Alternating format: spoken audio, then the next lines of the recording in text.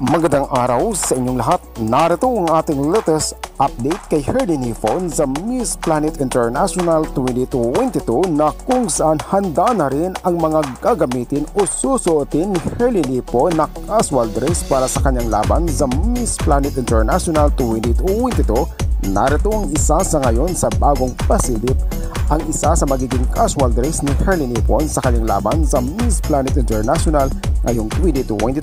Paano po natin? Ako si Conan TV.